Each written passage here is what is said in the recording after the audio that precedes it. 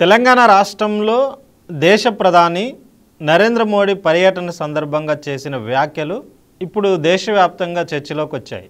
నరేంద్ర మోడీ వ్యాఖ్యలు చూస్తే కుటుంబాలు నడిపే రాజకీయ పార్టీలు ఈ దేశానికి యువతకి శత్రువు లాంటివి ప్రజాస్వామ్యానికి కూడా ఇవి శత్రువులు. కుటుంబ పాలన ప్రాంతీయ పార్టీల పాలన ఉన్న దగ్గర అభివృద్ధి జరగదు అని మోడీ ఆ సభలో వ్యక్తం చేయడం జరిగింది. దీని మీద ఇప్పుడు దేశంలో ఉన్న ప్రాంతీయ పార్టీలు మిగతా వాళ్ళు పెద్ద ఎత్తున అభిప్రాయాలు వ్యక్తం చేస్తూ ఉన్నారు. దీని మీద విమర్శలు వచ్చినాయి వివాదాలు కూడా వస్తున్నాయి.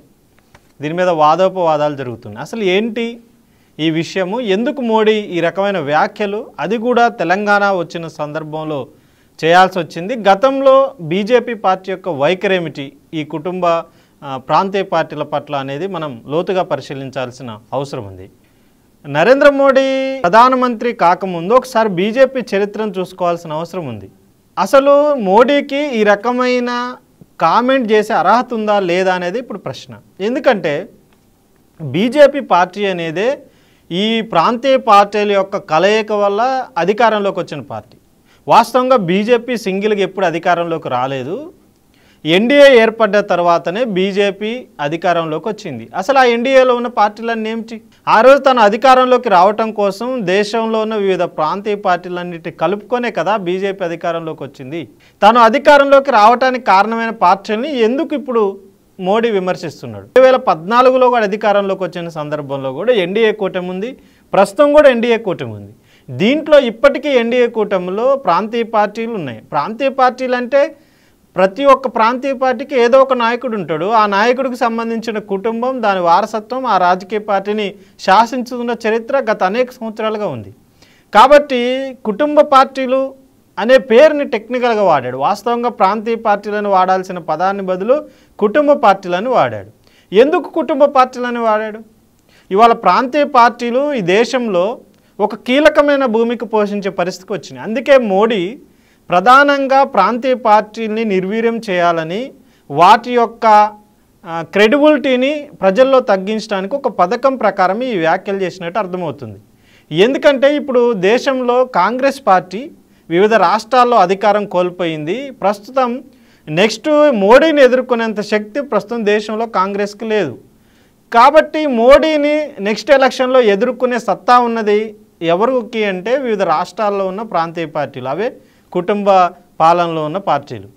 కాబట్టి నెక్స్ట్ రెండు వేల ఇరవై నాలుగు ఎలక్షన్లో మోడీకి సరైన ఎదురుగా వచ్చి నిలబడి ఎలక్షన్లో పోటీ గట్టిగా ఇచ్చే అవకాశం ఉన్నది ఏదన్నా ఉందంటే వివిధ రాష్ట్రాలు వివిధ ప్రాంతీయ పార్టీలు ఉన్నాయి.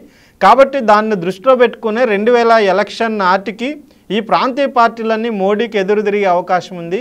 ఎన్నికల్లో తన పార్టీ గెలవకుండా ఆపగలిగే శక్తి ప్రస్తుతం ఉంది కాబట్టి కాంగ్రెస్ ఆ శక్తిలో లేదు కాబట్టి కాంగ్రెస్ దేశంలో వీక్ అయిపోయింది కాబట్టి ఇప్పుడు కాంగ్రెస్ను వదిలిపెట్టి ప్రాంతీయ పార్టీల మీద బీజేపీ కన్నుబడింది. దానిలో భాగంగానే ఈ మోడీ ఈ రకమైన వ్యాఖ్యలు చేయడం జరిగింది. వాస్తవాన్ని పరిశీలిస్తే ప్రాంతీయ పార్టీలు తమ యొక్క స్వార్థం కోసం ఆ రాష్ట్రం యొక్క ప్రయోజనాలను ఎక్కువ ప్రతిబింబిస్తాయి. ఆ ప్రతిబింబించే క్రమంలో ఆ పరిపాలనలో వాళ్ళ యొక్క వారసత్వాన్ని కూడా నింపటం మంత్రి పదవుల్లో నింపుకోవడం ఆ రకంగా రాజకీయాల్లో కుటుంబాన్ని భాగస్వామ్యం చేయటం అనేది అనేక చారిత్రకంగా చూస్తే పా ప్రాంతీయ పార్టీలో వస్తూ ఉంది. ఇప్పుడు ఎన్డీఏలో గతంలో భాగస్వామ్యం ఉన్న చాలా పార్టీల్లో కూడా కుటుంబ పాలన ఉంది. అంతేందుకు ఇప్పుడు కుటుంబ పాలన గురించి బీజేపీ వ్యాఖ్యలు చేస్తూ ఉంది. కానీ అసలు ఇప్పటికీ కుటుంబ పాలనని పూర్తి స్థాయిలో నిర్వహిస్తున్న పార్టీ ఏదన్నా ఉందంటే అది బీజేపీకి సంబంధించిన పార్టీ అనేది మనం స్పష్టంగా చూడొచ్చు. దానికి సంబంధించిన నాయకులు అనేక మంది ఇప్పుడు కుటుంబ రాజకీయాలు బీజేపీలో మోడీకి ఉండకపోవచ్చు మోడీ కుటుంబం ఉండకపోవచ్చు వేరే రకంగా ఉండొచ్చు అనేక రాష్ట్రాల్లో వారసత్వ రాజకీయాలే బీజేపీ చేస్తుంది. చాలా మందిని చూసుకుంటే గోపీనాథ్ ముండే పెద్ద నాయకుడు పంకజ్ ముండే కూతురు ఇప్పుడు రాజకీయాల్లో ఉంది. వసుంధర రాజే రాజస్థాన్ సీఎంగా చేసిన వారసుడు దుష్యంత్ సింగ్ ఎంపీగా ఉన్నాడు. రణం సింగ్ ఛత్తీస్గఢ్ సంబంధించిన ముఖ్యమంత్రి వారసుడు అభిషేక్ ఎంపీగా ఉన్న పరిస్థితి ఉంది అనురాగ్ ఠాకూర్ ఇప్పుడు కీలకమైన మినిస్టర్గా ఉన్న అనురాగ్ ఠాకూర్ సంబంధించిన తండ్రి కూడా బీజేపీలో ప్రముఖ నాయకుడిగా పనిచేసిన పరిస్థితి ఉంది రాజ్నాథ్ సింగ్ సంబంధించిన మంత్రి ఎవరున్నారో తనకు సంబంధించిన కొడుకు పంకజ్ కూడా ఇప్పుడు ఎంపీగా ఉన్న పరిస్థితి ఉంది యడ్యూరప్ప సీఎం బీజేపీకి సంబంధించిన సీఎం కొడుకు రాఘవేంద్ర కూడా ఇప్పుడు రాజకీయాల్లో ఉన్నారు. ఉత్తరప్రదేశ్లో కళ్యాణ్ మాది సీఎం సంబంధించిన కొడుకు రాజ్వీర్ ఎంపీగా ఉన్న బాధ్యత ఉంది. మేనకా గాంధీ కొడుకు వరుణ్ గాంధీ ఎంపీగా ఉన్నాడు.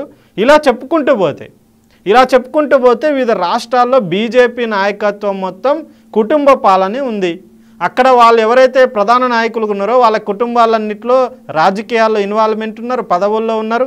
ఒక రకమైన లెక్క ఏంటంటే రెండు వేల పంతొమ్మిది పార్లమెంట్ ఎలక్షన్లో బీజేపీ మూడు వందల ముప్పై ఎనిమిది సీట్లలో ఉంటే దాంట్లో నలభై ఐదు మంది కుటుంబ వారసత్వం నుంచి వచ్చిన వాళ్ళే. అంటే బంధువులుగా గెలిచిన వాళ్ళు. అంటే పదకొండు శాతం ఎంపీలు వాళ్ళ బంధువులుగా గెలిచిన పరిస్థితి కూడా బీజేపీ ఉంది. అట్లాంటి కుటుంబాలని రాజకీయాల్లో మిళితం చేసి ఆ రాజకీయాలు నడిపే బీజేపీ అసలు కుటుంబ రాజకీయాల గురించి మాట్లాడే పరిస్థితి ఎక్కడుంది? అది వేరే వాళ్ళు మాట్లాడితే బాగుంటుంది. కుటుంబ రాజకీయాలు అవసరం లేదనే వాళ్ళు ఆ రకంగా కుటుంబ రాజకీయాలకి దూరంగా ఉండే పార్టీలు విమర్శ చేస్తే బాగుంటుంది. కానీ నిత్యం కుటుంబ రాజకీయాలతోటే రాజకీయం చేసే బీజేపీ రకమైన ఆరోపణలు చేయటం అంటే ప్రజల్లో ప్రాంతీయ పార్టీల పట్ల ఒక ద్వేషభావాన్ని ఒక అసత్య ప్రచారం చేయడం కోసమే దీన్ని చేస్తుంది. దీనికి ఒకటి కూడా తమిళనాడు పోయిన సందర్భంలో మొన్న పర్యటనలో స్టాలిన్ ఆ రాష్ట్రానికి సంబంధించిన విషయాల్ని వేదిక మీద ప్రశ్నించటం. అదే సందర్భంలో కర్ణాటక సంబంధించిన కుమారస్వామి మాజీ ఆయన ప్రశ్నించటం అటు ఆపు పంజాబ్ సంబంధించిన రాష్ట్రంలో వాళ్ళు బీజేపీకి వ్యతిరేకంగా మాట్లాడటం బెంగాల్ చూసినప్పుడు మమతా బెనర్జీ బీజేపీకి వ్యతిరేకంగా మాట్లాడటం మహారాష్ట్రలో శివసేన కూటమి బీజేపీకి వ్యతిరేకంగా మాట్లాడటం ఉత్తరప్రదేశ్లో పెద్ద ఎంపీలు ఉన్న ఉత్తరప్రదేశ్లో సమాజ్వాదీ పార్టీ మిగతా బీహార్లో ఆర్జేడీ పార్టీ ఇట్లా అదే రకంగా తెలంగాణలో టీఆర్ఎస్ పార్టీ చాలా పార్టీలు వాళ్ళ ప్రాంతీయ పార్టీలు ఆ రాష్ట్రాల్లో బలంగా ఉండి బీజేపీకి వ్యతిరేకంగా ఉంటున్న పరిస్థితి ఇవి గతంలో ఇవి బీజేపీతో స్నేహం చేసినాయి. కానీ ప్రస్తుతం ఉన్న వాళ్ళ అవసరాల కొద్దైనా కానీ బీజేపీకి వ్యతిరేకంగా తన యొక్క మతోన్మాదానికి వ్యతిరేకంగా రాష్ట్రాల పట్ల నిరంకుశవాదానికి వ్యతిరేకంగా కూడా అవి ముందుకొస్తున్న పరిస్థితి రీత్యా రేపు అధికారంలోకి రావటం కోసమే ప్రాంతీయ పార్టీని బ్లేమ్ చేయడానికి తప్ప ఆ రకమైన అర్హత మోడీకి లేదనేది స్పష్టం. కాబట్టి ప్రాంతీయ పార్టీలకు ఉండాల్సిన కొన్ని లక్షణాలు ఉన్నాయి. కానీ ఆ రాష్ట్రాల్లో అభివృద్ధి జరగట్లేదు ప్రాంతీయ పార్టీలు అంటే చాలా రాష్ట్రాల్లో బీజేపీ పాలిత రాష్ట్రాల కంటే ప్రాంతీయ పార్టీలు రాష్ట్రాల్లో పరిపాలిస్తున్న ముఖ్యమంత్రులు చాలా ఎక్కువ అభివృద్ధి కార్యక్రమాలు చేస్తున్నారు. సంక్షేమ పథకాలు ఉన్న పరిస్థితి కూడా చాలా రాష్ట్రాలు ఉన్నాయి. కాబట్టి బీజేపీ కంటే మంచి పాలన అందిస్తున్న పరిస్థితి ఉంది కుటుంబ పాలనలో అవినీతి జరుగుతున్న పరిస్థితి ఉంది అదే రకంగా బీజేపీ ముఖ్యమంత్రి పాలనలో కూడా రాష్ట్రాల్లో కూడా అవినీతి పెద్ద ఎత్తున జరుగుతున్న సందర్భం ఉంది. దేశంలో కూడా అవినీతి జరుగుతున్న సందర్భం ఉంది. కాబట్టి అవినీతికి కుటుంబ రాజకీయాలకి అవినీతికి ప్రాంతీయ పార్టీలకి ముడిపెట్టి మాట్లాడటం అనేది సరైనది కాదు. ఇవాళ ఎలక్షన్ కమిషన్ దాని ప్రకారం ఎనిమిదే ఈ దేశంలో జాతీయ పార్టీలు ఉన్నాయి. రాష్ట్రాల్లో అధికారంలోకి అంటే రాష్ట్ర స్థాయికి గుర్తింపు ఉన్న పార్టీలు యాభై పైగా ఉంటే రెండు వందల ఏడు వందల తొంభై నాలుగు పార్టీలు గుర్తింపు లేకుండా వివిధ రాష్ట్రాల్లో రాజకీయాలు నడుపుతున్న చరిత్ర కూడా ఉంది. కాబట్టి ఇట్లాంటి రాజకీయ పార్టీల వ్యవస్థని ధ్వంసం చేసి ఏక పార్టీ వ్యవస్థ తేవటం కోసం మోడీ ఆర్ఎస్ఎస్ యొక్క విధానంలో భాగంగా వ్యాఖ్యలు చేసినట్టు మనం చూడాల్సిన అవసరం ఉంది.